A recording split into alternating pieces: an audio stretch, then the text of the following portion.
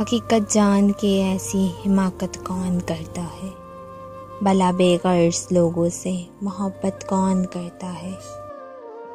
बताओ जिस तजारत में खसारा ही खसारा हो, बिना सोचे खसारी की तजारत कौन करता है?